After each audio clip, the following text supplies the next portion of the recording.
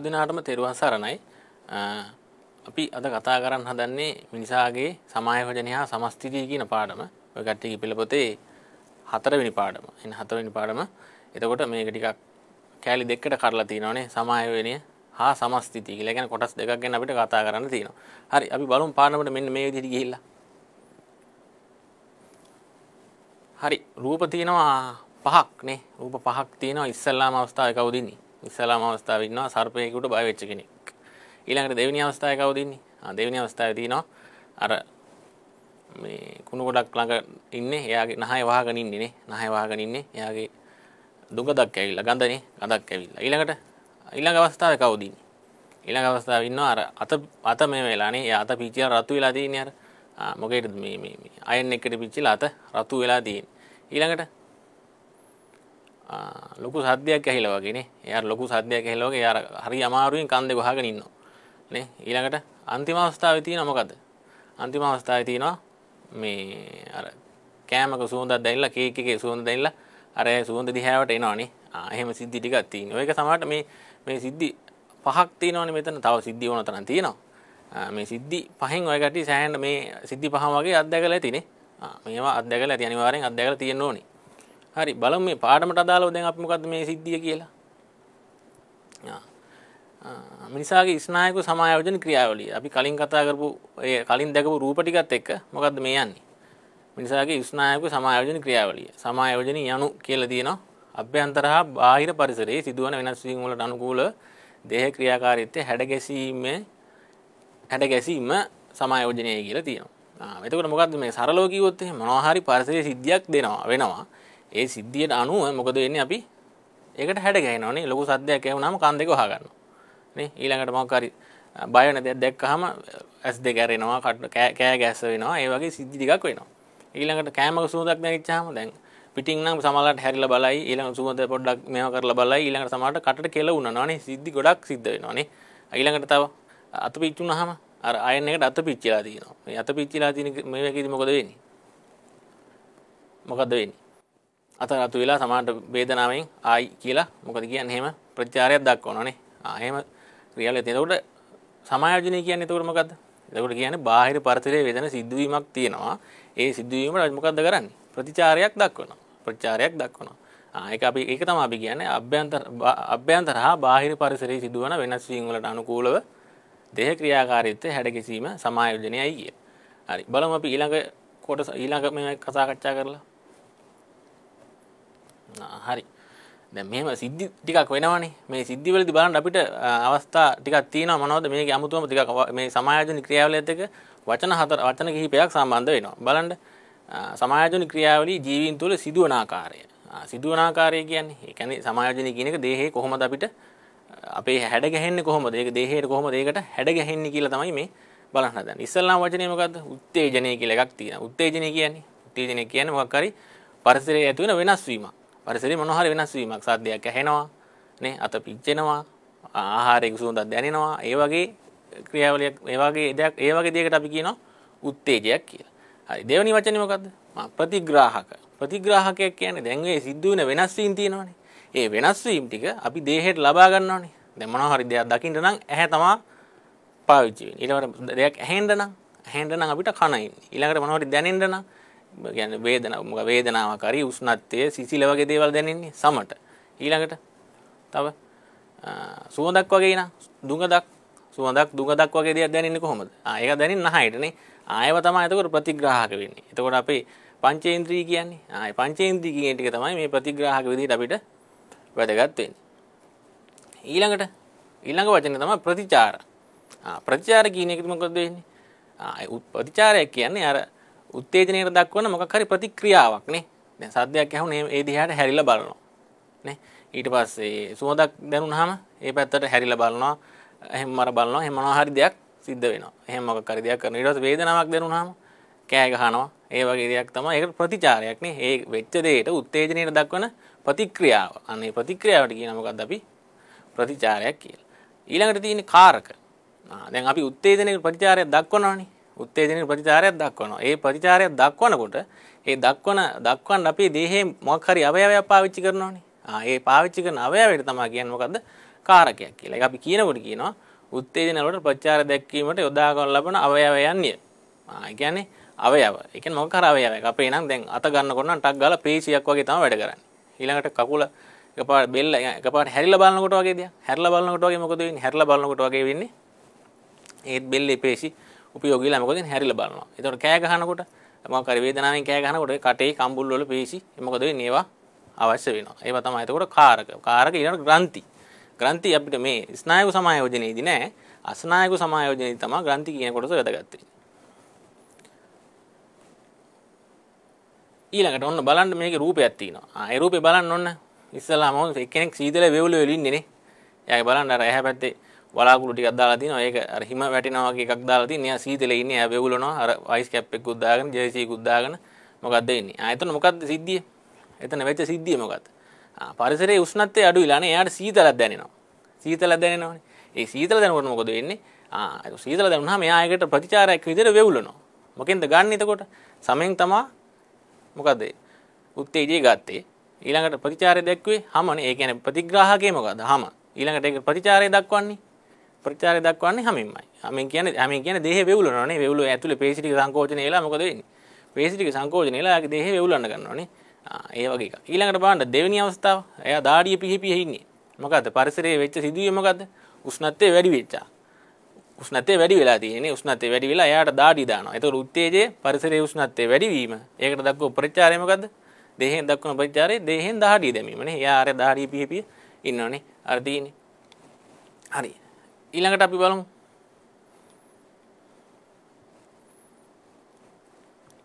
සමායෝජනයේ ප්‍රධාන ආකාර දෙකයි. දැන් අපි කතා කරන විදිහට සමායෝජනයේ ප්‍රධාන ආකාර දෙකක් තියෙනවා. දේහේ සිදුවෙන ඒවට උත්තේජන වලට ප්‍රතිචාර දක්වන ආකාර දෙකක් තියෙනවා. මොනවද ප්‍රධාන ආකාර දෙක? ස්නායු සමායෝජනය සහ අස්නායු සමායෝජනය. එතකොට මේක දැන් වචන දෙකේ පොඩි වෙනසක් තියෙනවානේ. අර ස්නායු සමායෝජනය සහ අස්නායු සමායෝජනය කියලා පොඩි වෙනසක් තියෙනවා. බලන්න මේ දෙකේ වෙනස බලමු අපි.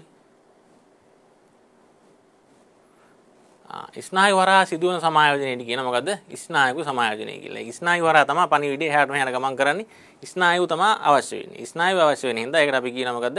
ස්නායුක සමායෝජනය කියලා. හරි ඊළඟට දෙවෙනි එක මොකද්ද? අස්නායක සමායෝජනය. අස්නායක සමායෝජනය වෙන්නේ මොකද්ද?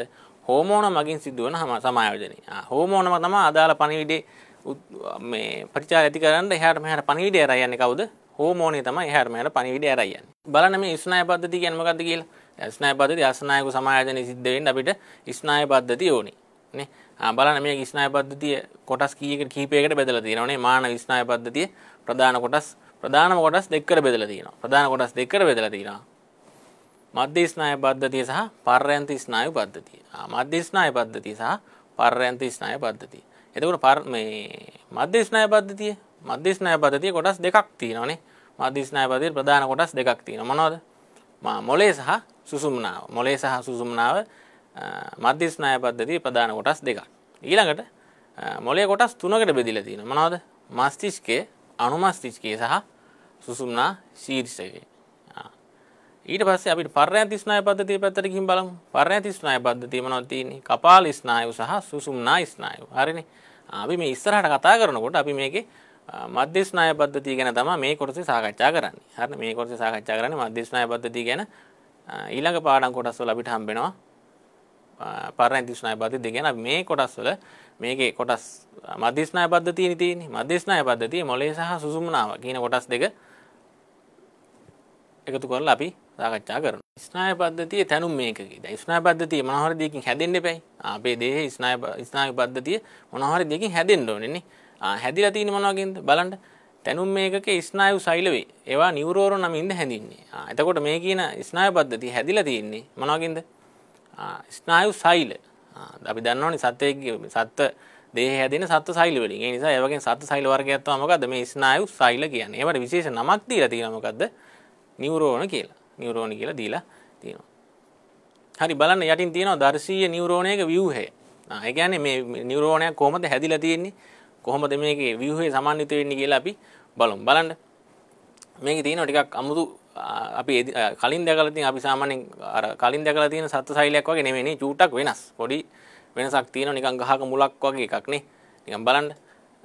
සෛල දේහය කියලා එකක් තියෙනවා. අනුශාකිකා, න්‍යෂ්ටිය, රැංවිය ගැට මයිලීන් කොපු අක්ෂණය උපාගම කුඩුම්බි ආයිවන් කියනවා සයිල් දේහය අනුශාකිකා න්‍යෂ්ටිය රැංගියර් ගැට මයිලීන් කොපුව අක්ෂණය උපාගම කුඩුම්බි. අන්න ඕවගෙන් තම එතකට මේ කියන ස්නාය පද්ධතිය. ස්නා පද්ධතිය තැනුම් මේක වෙච්චමකක්ද මේ කියන නිවරෝණය සමන්විත වෙන්නේ. අනි සාමාන්‍ය සත්ව සයිලයක තියෙන කොටස්ටිකම තියෙනවා. එනවාට චූර් චූඩි කෑලි කීපය මොකද වෙන්නේ? අමතරව එකතු වෙලා තියෙනවා මේ නිවරෝණ සයිලයක නැත්තං ස්නායු සයිලයකට හරි එතකොට අපිට මේ අපේ ස්නාය පද්ධතිය ඇතුළේ ස්නාය පද්ධතිය තුළ ස්නායු වර්ග කිය කම්බෙනවද අපිට ස්නාවර්ග තුනක් කම්බ වෙනවා. ස්නාවර්ග තුනක් කම්බෙනවා බල මේ තුන මොනවද කියලා. මෙතින අංක පළවෙනි එක සංවේදක නිවරෝණය මොකක්ද කරනවා කියන්නේ? ප්‍රතිග්‍රාහකවල සිට මොලේ හා සුසුම්නාව වෙත පණිවිට ගෙනේ. හරිනි. ඒගැන ප්‍රතිග්‍රාහකවල දල අපේ මොනොද ප්‍රතිග්‍රාහක විදිට හැසුරුනේ මොනොද ඇස කණ නාසේ දිව සම කීනේ වගේම ඒව තම ප්‍රතිග්‍රාහකන. ඒ වගේ ඉඳලා මොලයට නැත්තම් සුසුම්නාවට පණිවිඩ ඇරගෙනනවා මේ තින්නේ එක හැඩයකුත්නේ. අයික අට සයිල් දේහේ තියෙනවා. මේ සයිල් දේහ න්‍යස්ටිය අනුශාකිකා උපාගම කුඩුම්බි ඒටික සමන්විත වෙනවා. හරි. ඊළඟ එක බලමු අපි. චාලක නිවරෝණය. හරි. දෙවනි නිවරෝණ වර්ගේ මොකක්ද චාලක නිවරෝණය මොලේ සහ සුසුම්නාවේ සිට කාරක වෙත පණවිඩ ගෙනෙයි. මොලේ සහ සුසුම්නාව දැන් උත්තේජනකට ප්‍රචාරය දක්වනවන. ඒ නිසා මොලේ දම් මොකක් හරි දෙයක් කරන්නට අපිට මෙම එකක් හම්බ වෙනවන. ඒ හම්බ වෙන මොකක් දෙකට කියන්නේ? පනිවිඩේ නැත්තන් ඒකට අදාල ප්‍රතික්‍රියාව දක්වන්න අදාල පනිවිඩේ තියෙනවනේ. ආය පනිවිඩ අරගෙන කවුද? මොලේ හරි සුසුම්නා විඳලා හරි. ඒ පනිවිඩ අරගෙන කවුද? මේ කියන චාලක නිවරෝණය බලන්න චාලක නිවරෝණය අපි කලින් ඉස්සල්ලාම දර්ශීය නිවරෝණයක් වගේමයිනේ ටිකක් රක්ෂණයේ දිගයි සෛල දේහයක් තියෙනවා ඒ කොටස් ටික තියෙනවානේ. එතකොට එයින් කරන්නේ මොකද්ද? ආය පාරක් කතා කරොත් මොලේ සහ මොලේ සහ සුසුම්නාවේ සිට කාරක වෙත පණිවිඩ ගෙනෙනවා. කාරක වෙත ප්‍රතික්‍රියාවට අදාළ ප්‍රතික්‍රියාවට අදාළ පණිවිඩය අරගෙන ඉන්නේ මේ කියන චාලක නිවරෝණය ඊළඟ බලන්න ඊළඟ නිවරෝණ වර්ගේ අන්තර්හාර නිවරෝණය. අන්තර්හාර නිවරෝණය බලන්ඩ මෙයාගේ මොකද කරන්නේ? මොලය හෝ සුසුම්නාව තුළ පිහිටන සංවේදක නිවරෝණ හා චාලක නිවරෝණ අතර සම්බන්ධතාව පවත්වා ගනි. මෙයා මොකද කරන්නේ?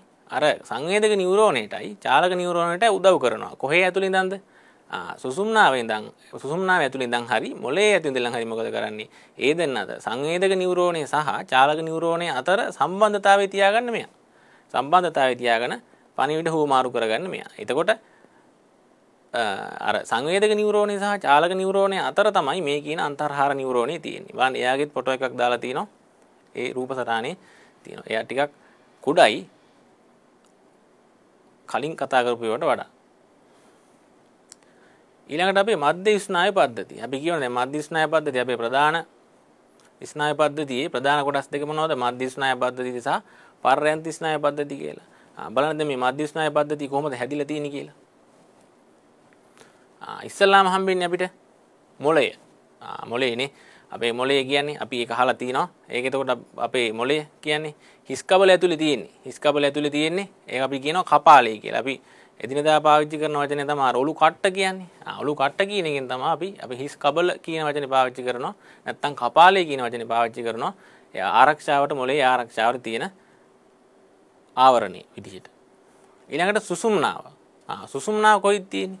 සුසුම්නාව කියන එක තමයි දෙවෙනි එක. ඊළඟට ඒකේ තියෙන අපේ මේ පිට කොන්ද මේ පැත්තේ මේ මේ දේහයේ ඉහළ සිට පහළට තමයි එයා එන්නේ කොඳු යට පිළ තුළ තමා පිහිටන් එයාගේ ආරක්ෂාවට දැන් මොලේ ආරක්ෂාවට හිස් කබල තිබ්බා වගේ සුසුම්නාවේ ආරක්ෂාවට මොකද තියෙන්නේ කොඳු යට පෙළ පිහිටනවා ඊළඟට ඊළඟට මස්තිෂ්කය මොලේ කොට පළවෙනි කොටස තමයි මොලේ කොටස් තුනකට බෙදන්නේ ඒ කොටස් තුනකට බෙදුවේ එකේ පළවෙනි කොටස තමයි මොකද්ද මස්තිෂ්කය ඒක මොකද වෙන්නේ කොටස් දෙකකට බෙදෙනවා වම් සහ දකුණු අර්ධගෝල දෙකක් හරිනේ මොලේ කට්ටි පොටෝල් එහෙම දැකලා ඇති මේ අර්ධගෝල දෙකට බෙදිලා තියෙන්නේ කොටස් දෙකක් තියෙනවා ඒ දෙකෙන් තමයි ඒක තමයි ඒවට අපි මස්තිෂ්කය කියලා කියන්නේ. හරි ඊළඟ කොටස තමයි අනුමස්තිෂ්කය. අනුමස්තිෂ්කය කියන්නේ අපි කුඩා මොලේ කියලා කියන්නේ. ආ කුඩා මොලේ. මස්තිෂ්කයට පිටුපසින් පිහිටයි. ටිකක් මෙන්න මේ පැත්තට වෙන්න මොලේට පිටිපස්සෙන් තමයි ඒ කියන අනුමස්තිෂ්කය තියෙන්නේ. හරි ඊළඟ එක. ආ සුසුම්නා ශීර්ෂකය. සුසුම්නා ශීර්ෂකය කියන්නේ දැන් මෙතන අපි මෙතනින් මෙන්න කුඩා මොලේට පල්ලෙහිම වගේ තමයි තියෙන්නේ. මොකද සුසුම්නාවේ ආරම්භක කොටස සුසුම්නාව කියන කොටසේ ආරම්භය පටන් ගන්නෙ කොතනින්ද සුසුම්නා ශීර්ෂකයෙන් සුසුම්නා ශීර්ෂකයෙන් තමයි පටන් ගන්න. හරි. එතකොට බලමු ඒක මධ්‍යස්නායු පද්ධතිය කොටස් අපි දැන් පහක් කතා කරා මොනවද කොටස් පහ? මොළය, සුසුම්නාව, මස්තිෂ්කය, අනුමස්තිෂ්කය, සුසුම්නා ශීර්ෂකය නේ. හරි. බලමු ඊළඟ කොටසට ගිහිල්ලා. ආ මෙන්න ඔය ගල්ලේ තියෙනවා ෆොටෝ රූප සටහන් තියෙනවා තුනක්. බලන්න උඩින්ම තියෙන්නේ මස්තිෂ්කයේ අනුමස්තිෂ්කයේ තියෙනවා සුසුම්නා ශීර්ෂකයේ තියෙනවා සුසුම්නාව කෂේරුව කියන ඒවා තියෙනවා. බලන්න මස්තිෂ්කය එතකොට ඉහළින්ම තියෙන්නේ නේ. මස්තිෂ්කය ඉහළින්ම තියෙනවා. ඒකට යටින් සම්බන්ධ වෙලා තියෙන මොකද්ද? අනුමස්තිෂ්කය. පිටුපසින් පිටුපසින් වගේ පිටුපස්සට යටින් වගේ වෙන්න තමයි අනුමස්තිෂ්කය තියෙන්නේ. ඊළඟට සුසුම්නා ශීර්ෂකය. ඒ කියන්නේ අපි කියව සුසුම්නාව පටන් ගන්නම තැන කිව්වා අපි ඒකට කිව්වා සුසුම්නා ශීර්ෂකය කියලා. ඒ සුසුම්නා ශීර්ෂකය එතන උඩින්ම තියෙනවා ඊළඟ පල්ලෙහාට කුඳු යට පෙළ දිගේ පල්ලෙහාට විහිදෙනවා මොකද්ද? සුසුම්නාව. ඒ සුසුම්නාව තියෙන්නේ කසේරුකාව ඇතුලේ. ෆොටෝ ටිකක් දාලා තියෙනවා. ඒ බලන්න ඒ කියන්නේ වැඩි රූප සටහන් ටිකක් තියෙනවා. ඒකෙන් බලන්න. හරි. දැන් අපි මේ කතා කරපු දේ අපි දැන් මුලේ නම් කොටස් කිහිපයක් කතා කරගෙන ආවනේ ස්නායු පද්ධතිය කියන කොටස් ස්නායු පද්ධතිය කොටස් කතා කරා මොනවද තියෙන්නේ කිව්වා නියුරෝන වර්ග තුනක් තියෙනවා කිව්වා නම් මම ಜಾති ගොඩක් කතා කරා. අපි බලමු මේ කතා කරපු ටිකේ මොකද්ද මේ සාරාංශය මොකද්ද කියලා බලමු අපි. සාරාංශය මොකද්ද කියලා. අපි කතා කරපු ටිකේ මොකද්ද මේ ස්ලයිඩ් කිහිපයක් අපි කතා කරා. ඒ ස්ලයිඩ් වල තිබ්බ තොරතුරු ටික අපි උට්ටක් පොඩි චූටි සාරාංශයක් හදලා තියෙනවා. ඒ සාරාංශය බලන්න මොනවද තියෙන්නේ කියලා. බලන්න පළවෙනි එක දීලා තියෙනවා පරිසර වෙනස් වීම වලට සංවේදී වන ඉන්ද්‍රියන් ප්‍රතිග්‍රාහක යනුවෙන් හැඳින්වේ. හරිනේ. ආය පරිසරයේ මොකක් හරි සිද්ධ වීමක් වෙන මොකක් හරි මොනවා හරි දෙයක් වුණාට පස්සේ වෙනස් වීමක් සිද්ධ වෙනවනේ. වෙනස් වීමකට සංවේදී වෙනවනේ. සද්දයක් ඇහුනොත් අපි මොනවද? අපිට ඒක කනට තමයි ඇහෙන්නේ. රූපයක් මොනවා හරි ලස්සන රූපයක් දැක්කොත් ඇහැ තමයි යන්නේ නේ. ඒක මොකක් හරි ඊට පස්සේ ඇඟේ වැදුනොත් වගේ දෙයක්. ඒකට වේදනාවක් දැනෙනවා. ඒ වගේ දෙයක් මොනවා හරි දෙයකින් සම්මත තමයි දැනෙන්නේ. ඊළඟට මොකක් හරි දුඟදක් එනවා. නැත්තම් සුවඳක් එනවා. ඒ දේ ඉන්නේ අපිට නහයටනේ. ආ ඒවට අපි මොකද කිව්වේ? එතකොට සංවේදී වන ඉන්ද්‍රියන් ප්‍රතිග්‍රාහක යනුවෙන් හැඳින්වේ එතකොට මොනවා හරි පරිසරයේ සිද්ධ වෙන වෙනස් වීමක් අපිට දැනෙන්නේ මොනවටද? ආ මේ කියන ප්‍රතිග්‍රාහක වලට දෙවෙනි කරුණ බලමු. උත්තේජයක් කියන ප්‍රතිග්‍රාහක සක්‍රිය කරන ශක්ති විශේෂයකි. හරිනේ අපි කතා කරේ උත්තේජයක් කිව්වේ මොකක් පරිසරයේ මොනවා හරි සිද්ධ වෙන වෙනස් වීමක් නේ. අර අපි මුල් ටිකේ අර අර රූප සටහන් ටිකක් දැක්කේ ඉස්සල්ලාම එක්කෙනා මොකද වෙන්නේ? එයා සර්පේකට බය වෙලා නේ. ආ ඊළඟට දෙවෙනි එක්කෙනා කතා දෙවෙනි එක්කෙනා තිබුණේ අර අර මේ මේ කුණු ගොඩක් ළඟ නහය වහගෙන ඉන්නේ. ආ ඒක. ඊළඟට තුන්වෙනි එක්කෙනා වෙලා තියෙන්නේ මොකද්ද? එයාගේ අත පිච්චිලා නේ. අර අත රතු වෙලා හිටියේ මේවාකත් එක්ක. ඊළඟ එක්කෙනා ඊළඟ එක්කෙනා ලොකු සද්දයක් කියලා අර කන් දෙක වහගෙන හිටපු රූපයක් තිබුණේ. ආ ඒකේ.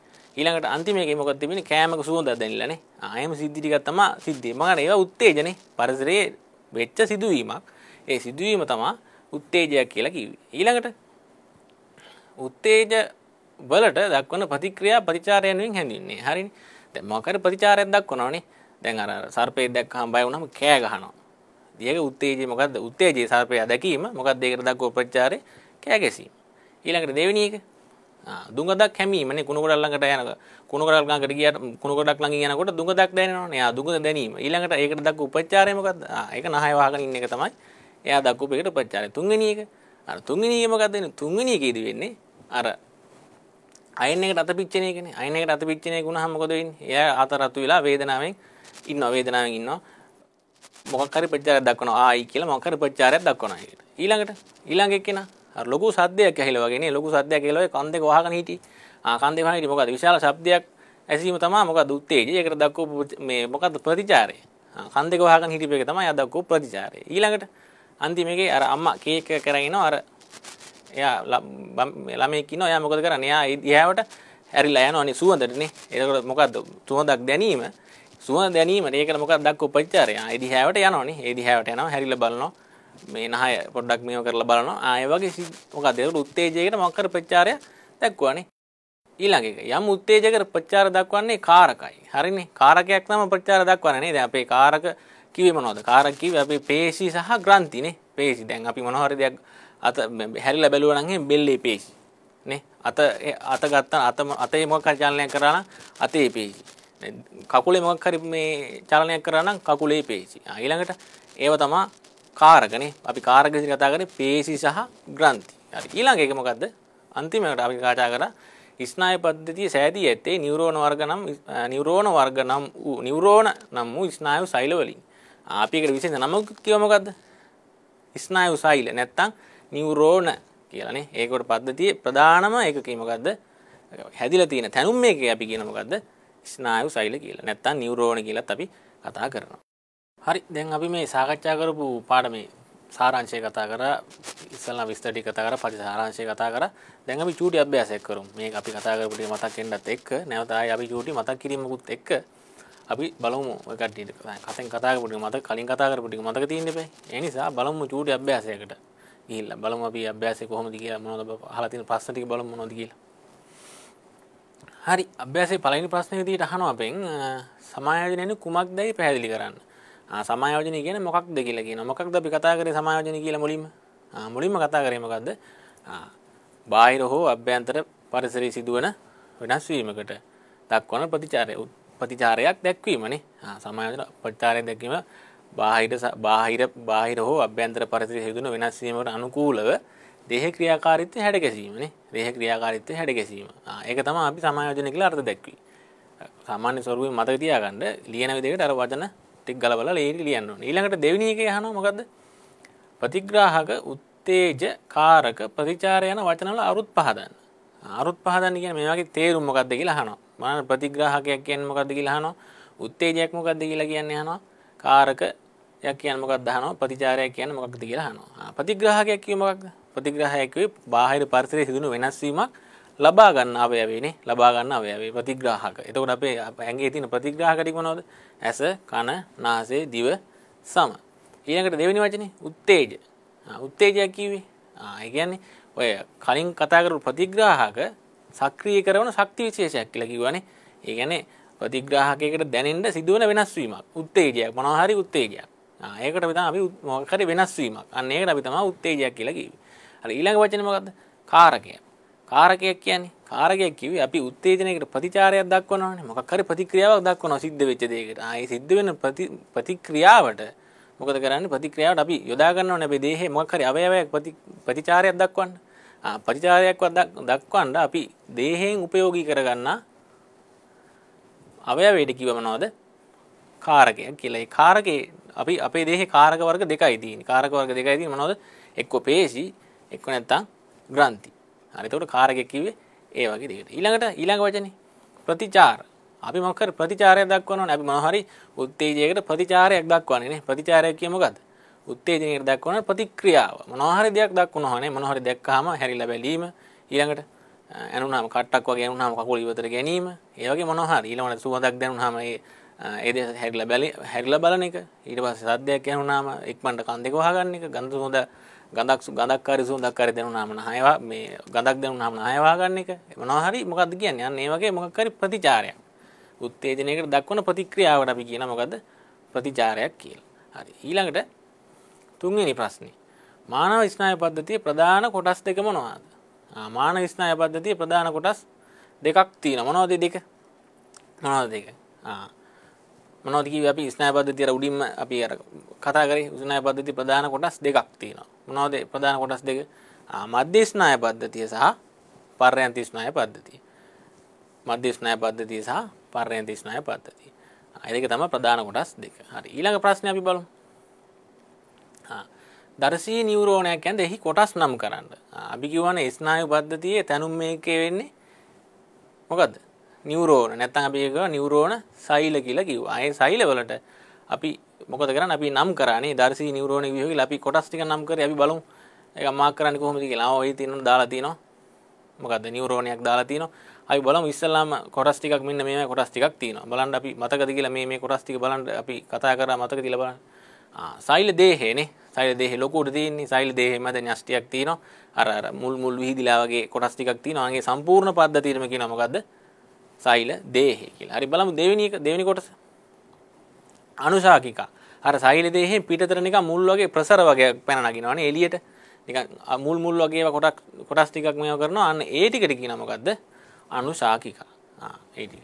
ඊළඟ එක ආ මැද න්‍යෂ්ටිය තියෙනවා. ඕනම සත සෛලයක අපි දන්නවා මැද එයාගේ ක්‍රියා මොකද සෛලීය ක්‍රියාපාලනය කරන්න තියෙන මොනවද? න්‍යෂ්ටියක් කියලා තියෙනවා. ඒ වගේම මේ නියුරෝන සෛලයට නැත්නම් ස්නායු සෛලයටත් පොදුවේ තියෙන මොකද්ද? න්‍යෂ්ටියක්. හරි ඊළඟට බලන්න. ඊළඟට අක්ෂණය. ආ අක්ෂණය. අක්ෂණය කියන්නේ මොකද්ද? අර සෛල දේහයෙන් මොකද්ද? වගේ මේ පැත්තට දකුණු පැත්තට විහිදිලා යනවා ප්‍රසරයක්. අර තනි ප්‍රසරයක් විහිදෙන්නේ. යන්නේ ප්‍රසරයට කියන මොකද්ද? අක්ෂණය කියලා. ඊළඟ ඊළඟ කොටස බලමු. ඊළඟට ඒ අක්ෂණය මතු පිටින් නිකං නිකං මේ කොටස් ටිකක් තියෙන මොනවද මයිලීන් කොපු ඒ කියන්නේ නිකන් අර අක්ෂණය වහගෙන තැන් තැන් වලින් තියෙනවා මයිලීන් කොපු.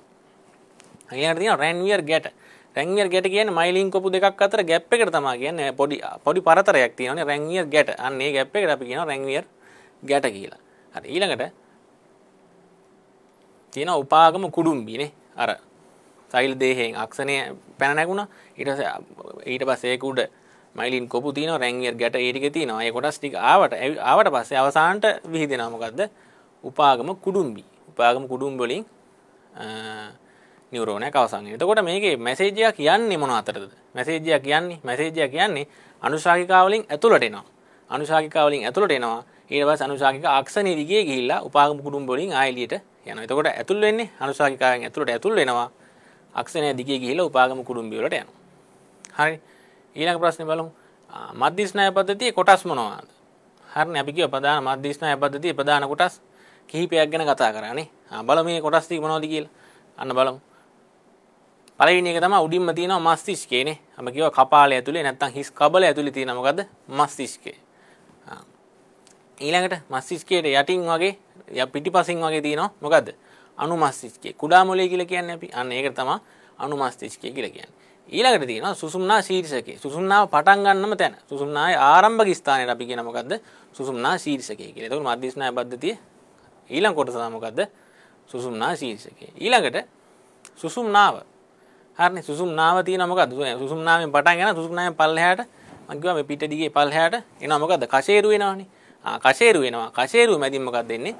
සුසුම්නාව පල්ලෙහාට දිව වෙනවා. ඒක අපේ පිට දිහාට පල්ලෙහාට විතර මෙන්න මේ සීමාව වෙනකන් සුසුම්නාව වෙනවා. හරි අපි ස්නාය පද්ධතියේ සෑහන දුරක් කතා කරගෙන ආවා මේ වෙද්දී ස්නාය පද්ධතිය සෑහන දුරක් කතා කරගෙන ආවා සමායෝජනය කියන්නේ මොකද්ද සමායෝජනයේට දායක වෙන පද්ධති මොනවද ඒ පද්ධති හැදිලා තියෙන්නේ කොහොමද කියලා අපි කතා කරා. එතකොට අපේ ස්නාය පද්ධතිය තමයි සමායෝජනයේදී වැඩිපුරම මෙහෙයවට ඉෂ්ට කරන්නේ නේ. ආ එතකොට එතකොට ඒ කියන්නේ සමායෝජනයේදී වැඩිපුරම කාර්යභාරය වැඩිපුරම කියන්නේ සම්පූර්ණ කාර්යභාරය ඉෂ්ට කරන්නේ ස්නාය පද්ධතිය. එතකොට ස්නාය පද්ධතියේ ප්‍රධාන සමායෝජන ආකාර දෙකක් තිබ්බා.